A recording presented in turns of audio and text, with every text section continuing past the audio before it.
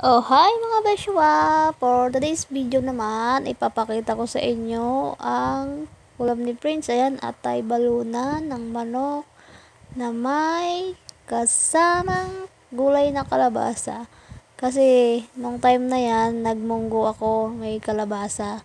So, sinamahan ko na rin yung pagkain ni Prince at Sandy ng kalabasa. Yan, niluluto ko na siya. Ka-voice over lang po ako ngayon. Voice over.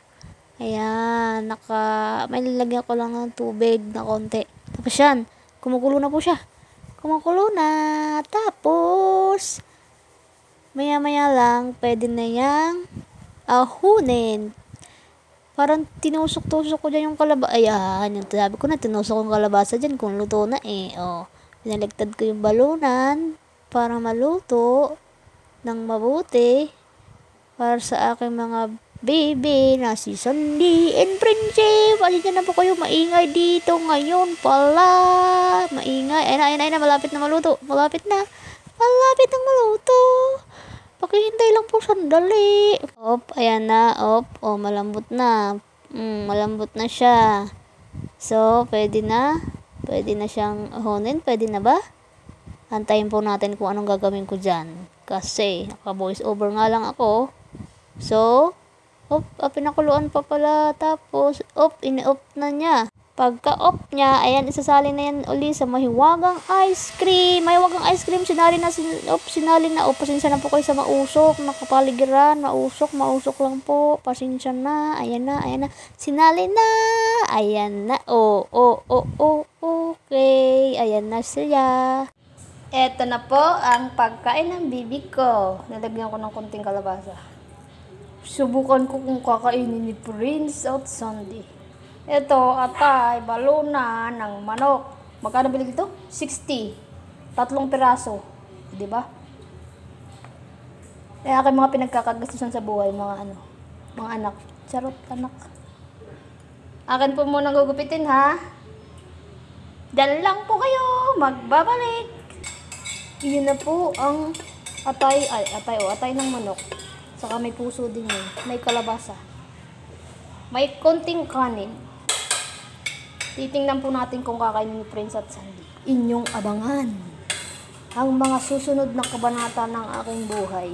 Kabanata. Tagalog na Tagalog. Ayan, ayan, ayan. O, kailangan nating-hati ah. Ganyan dapat ng hati. Pagmamahal ba? Ganun. Walang kinutulingan. Walang pinoprotektahan. Aba, ay 24 oras siya tayo. Lalaging, dadalhin ko na po kay Sandy ni Prince. Hindi ka ito matapon. Aigo, aigo. Asa na ang Princey? Ah, buncho. Late na ba, buncho? Ay, dyan naman ang Princey ko. Kakainin mo kaya ito, bunso? May kalabasa to. May kalabasa.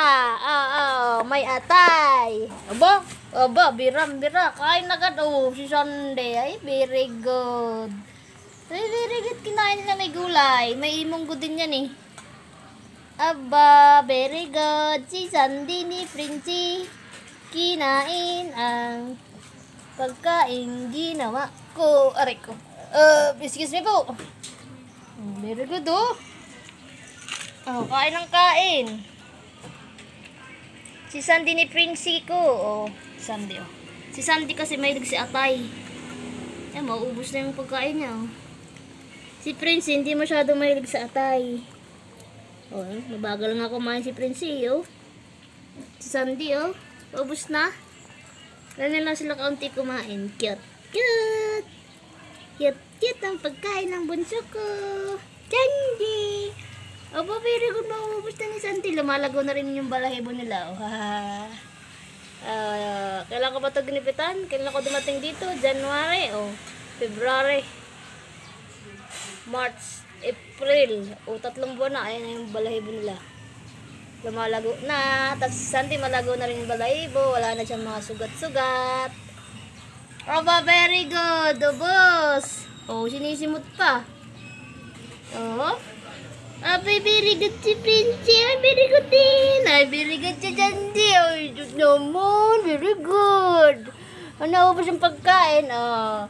Ayan po ang aming pagkain ni Princess Sandy. Atay ng manok. Atay balunan. May puso din yon Tapos may kalabasa. May munggo din pala yun. Abo, very good kay Princey ko. Very good. Bye-bye po. Bye-bye, Princey. Princey, bye-bye. Princey, bye-bye. Princey, bye-bye. Princey, bye-bye.